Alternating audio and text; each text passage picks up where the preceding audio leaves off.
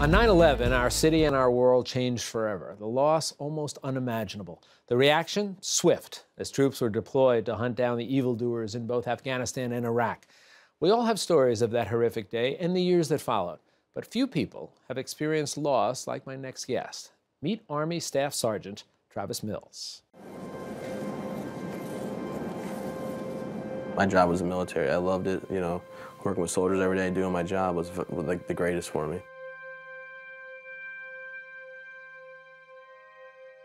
Coming home to my wife and kid was the best, you know, and I had a really good life mapped out. I was really doing well.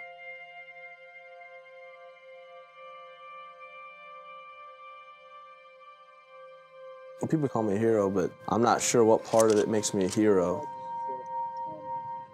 I just had a normal day at work that turned ugly.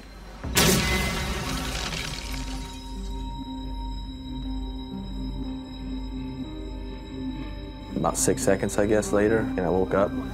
My medic came running up at me. I need more people over here to put on tourniquets! In about 20 seconds, he had tourniquets on both legs and both arms. And I guess the last thing I said, my baby girl, am I ever gonna see her again? You know, that was out. I'm getting teared up a little, sorry. But I was really worried about what, uh, what life was gonna be like afterwards, you know, like with all this.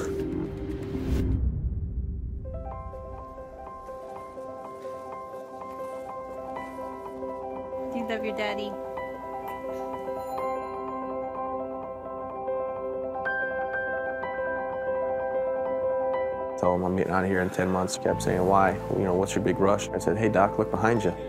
I had pictures of me and my wife and my daughter. I have a family. Like, I, I live in a hospital bed. Get me out of here. And joining me now is Army Staff Sergeant Travis Mills, author of this book, Tough as They Come. Staff Sergeant Mills fought through three tours of service defending our freedom. The last was voluntary on his part. It was during that tour that he was wounded. He came home a hero and a quadruple amputee. And he joins us today to talk with us. It's our pleasure to have you, Travis. Nice to see you. Thanks for having me, absolutely. We saw a little bit about what happened there. And, and to, to give folks a, an, an understanding of this, because I want to talk about much more what you've been doing with your life since. But you're a member of the legendary 82nd Airborne Division. The best. You're you're back for a third tour of duty, and you had said to your wife this. You felt like you had to go back this time. Why'd you feel like you had to go back? Well, I mean, I had the opportunity to go. Uh, I had orders taking me somewhere else to Texas, and uh, to build a brigade up. They wanted combat NCOs, but I just I didn't feel right about it. I had guys I trained with, guys that uh, came out of high school and are fresh to the army and look up to me, and I've taught them how to do everything. And my wife understood that it was a calling and it's a brotherhood, and you don't turn your back on them. And when it came down to it, I just went to my sergeant major and I said, Sergeant Major, I don't think I can accept these orders. And I said, Is there anything I can do about this? Because this third deployment coming up for me, and I've been with 4th Brigade combat team the whole time, and I just have to go. And uh, he said he'll look into it, take care of it, and he did. And um, it's just it's just part of the job. You know, you don't leave your brothers in arms by themselves. If, if you haven't served, I, I think sometimes it's difficult for people to appreciate that. But people who have served, to them, it's it's the most natural thing to do. It's it's it's a family that's very different from others. Is that is that a fair way to characterize? I think it? so. I think it's uh, it's kind of like having a, being on a sports team. You know, you have your friends and you play sports with, and you're real tight with them, and you practice with them every day. But in the army, it's different because you live with them, you eat with them, and um, you do everything you have to. But where in the sports team, you practice plays, and if you win or lose, it's okay. In the army or any military service, you practice uh, taking down threats, and if you don't, somebody might walk, um, somebody might uh, not walk away. So it's uh, it's a little bit different. But you know, I didn't feel obligated to go. I wanted to go. It was voluntary to join the military. And when this third deployment came up, and I had guys looking up to me, and I was their boss, and I just couldn't see myself going anywhere else but overseas. And my wife knew that. We had a baby due. Um, She understood. she understood. Yeah, Makes a special special type of spouse. I think absolutely. My wife's the best. you're lucky. I'm not just She's saying. that- lucky I'm not just saying it because she's watching. I'm just saying. I'll tell you, wife, you said that to me even before you were on the air. Um, you, you, you talk a little bit in the film that we saw about how it happened, and just essentially, you're in an area, uh, IEDs, everybody thought it had been cleared. You simply just drop your backpack, and all of a sudden, this Yep. thing goes off. You're on the ground. Did you know the extent of your injuries initially? Oh yeah, yeah. So on April 10th of 2012, I was walking along, ground patrol.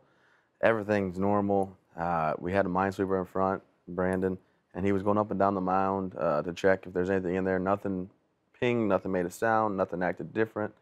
So I said, okay, cool. Had my team leader come up, told him get the gun up here, and I took my bag off, and my bag's about you know between 80 to 110 you know pounds depending on what we had in it, and we put them on the ground because we link all our rounds together. So instead of having our big gun crew-served uh, crew-served weapon with 300 rounds, we had it linked up with about 2,000 at any given time when we came to a halt. And I set my bag down, and within a second, you know, an instant, um, uh, a bomb went off, ripped off my right arm, right leg immediately. I did a, you know, real hard slam to the ground. My left eye swelled shut. Um, my left leg was a couple pieces of tendon and muscle holding on, holding it on, but nothing crazy. And my left hand was still there, but it was um, the wrist was blown out pretty good, and my ring and pinky finger were gone. So I just reached up, hit my mic, and I said, "Hey LT, I think I hit a bomb. Uh, we're gonna need your medic over here." And his medic came over. I had a medic already with my element, so my medic was working on me. I told him to get away from me, save my guys, because my first thought was on my soldiers. And he Did said, you think? yeah. And again, it's, it, it doesn't surprise me, knowing you what I've learned about you, that your first thought was for your guys, Mm-hmm. your, your soldiers.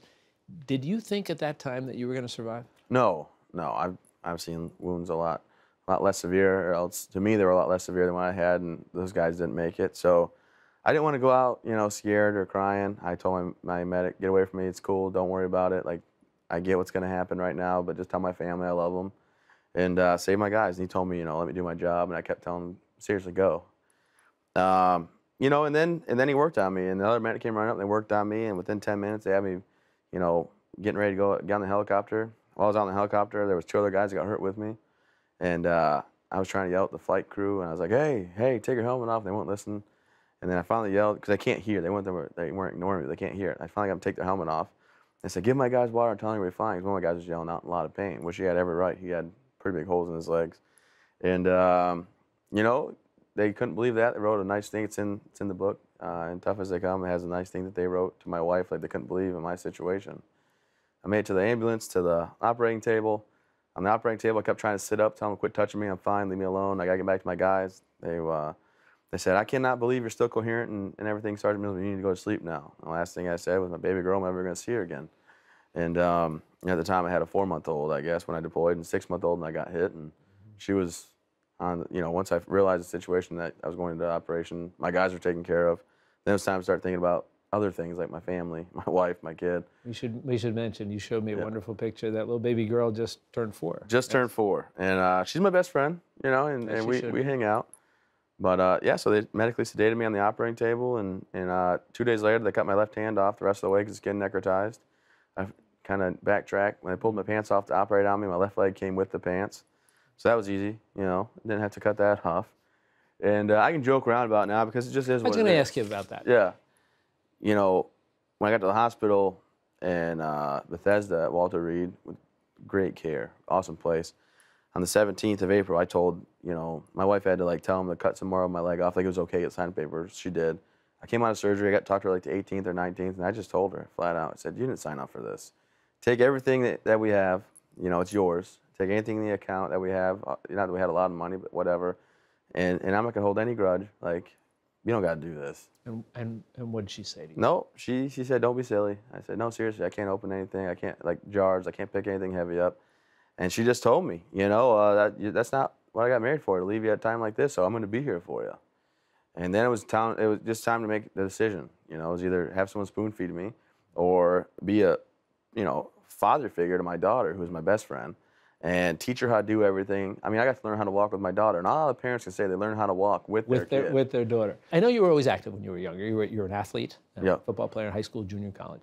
Um, is is part of this and all these physical activities not just for you, but but to show others also. I think it's very important to let people know. With my situation, I'm not, you know, living life on the sidelines. You know, I'm out there being active, doing whatever I can do, and that's the reason the foundation is around because I bring out guys in my situation and girls in my situation and show them like, look, you can adaptively do things. I think it was the most um, rewarding trip I've ever done. I went to Breckenridge, Colorado, and I learned how to snowmo- uh, snowboard and learn how to monoski. I don't really care for monoskiing that much because I can't do it as independently. But snowboarding, I mean, I learned how to snowboard on my short legs five months after my explosion, and I just never, you know, never looked back. I was just like, okay, this is, this can be done. You've got a, a great program that you're Yeah. putting together up in Maine. What is the program doing for others? Really, we didn't know what we were going to do. We just wanted to give back. My wife and I wanted to help people out. We were thought about sending care packages overseas. You know, if anybody's out there going to send a care package, peanut butter M&Ms, peppered beef jerky, Orbit gum, and gummy bears. That's all you need to know. No, that's all they want. That's all I wanted anyway. but um, you know, something real simple, maybe three to five thousand dollars. Hopefully, a year we could raise or give back because all the love and support we were shown. But really, we had a conversation with a gentleman about all the things I was doing, how great it was, and I knew uh, my wife wanted to move to Maine, so we were going to move to Maine, and we thought let's just host a camp. Let's see how this goes. So we did two proof of concepts that went phenomenal. We brought up guys in my situation and their families, and um, showed them how to kayak, canoe, boat, fish, swim, uh, you know, tube. I mean, literally anything and everything you can imagine. And so this past year, we purchased a property, the Elizabeth Arden Estate. Um, she built that in 1929. She was like uh, was a pioneer of cosmetics and red door spas and things. And now we're under a massive, massive reconstruction. Uh, we're looking to raise 2.7 million dollars, and all the uh, you know all the updates are online. We keep people really informed. Everybody can go to travismills.org and keep in touch with that. And uh, it truly is something that we believe in. We've had such great success with the five or the four, then the six families the last two years, and um, we want to bring people up and show them that you know they can do things and build a network. I mean, honestly, New York City has a lot of people, and I haven't seen one other amputee since I've been walking around here the last 12 hours. Oh. And uh, I'm trying to build that network so that people in my situation know they're not alone. That's okay to feel comfortable in your own skin. And when people stare at you, just say hello and uh, open up. But if they have any questions, I like to have them, you know, call me, email me, talk to me about anything they're going through. I was fortunate to be um, a peer mentor at Walter Reed. It started out first. I was like, "Hey, Travis, can you go talk to this guy up in this room? I can't tell you his name or what room he's in, but he's not in 48 and he's not in 50, but he might be somewhere in between there." and uh, then I went to, "Okay, Travis, we have Joe upstairs. His mom, dad, sister, and brother are here, and um, he's in room, you know, 8:30 or whatever, and and they're expecting you around two o'clock if you can make it." I told them you could. All right, cool. I got so it. eventually they started referring to you as the mayor. They did, yeah. I Because would, uh, the building we lived in, in building 62, I would actually strap Chloe in with a seatbelt, you know, we'd go and she knew the sign language for grapes because uh, she couldn't talk yet.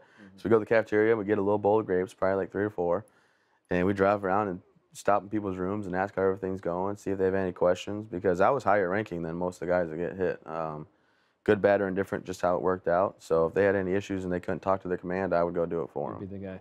Well, one of the things we've learned, I think, over the years is that the real heroes never think of themselves as heroes, and I know you've said that. Oh yeah. uh, that you're not a hero, but I'm going to tell you something. To us, and a lot of other people, you are. and I appreciate and I that. want to thank you. Thank you for spending some time. Thank you for the good work you're doing for other folks. Well- So, Travis, it's a, a pleasure meeting you. I appreciate that. Um, you know, with the author's note in the book, um, I told them they had to write it specifically as I wanted it. And the big thing I tell people, I didn't sign up and do any more than anybody else. I raised my right hand like everybody else. I just had a rough day at work. So everybody that served, thank you for your service. Yep. And I tell people that um, my problems are no more than anybody else's. You don't have to be traumatically injured or be anything with the military to read this book and get something out of it. So no matter what you're going through, I don't think I'm any more special. I just have the platform to talk about, and I appreciate If it. nothing else, I'm going to tell your Chloe that she has a special dad. Oh, thank you. Thanks, man. That's a pleasure. Appreciate it. You be well. Absolutely. Again, the book is called Tough as They Come, written, as we said, by a true American hero, Army Staff Sergeant Travis Mills. And we're delighted that he spent some time with us.